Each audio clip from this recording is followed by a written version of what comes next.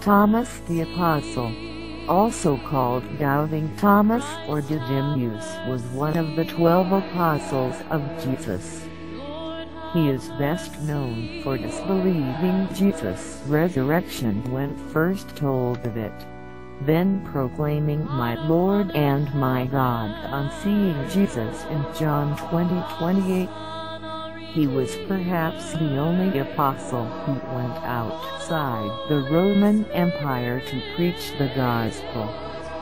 He also crossed the largest area, which includes the Persian Empire and India.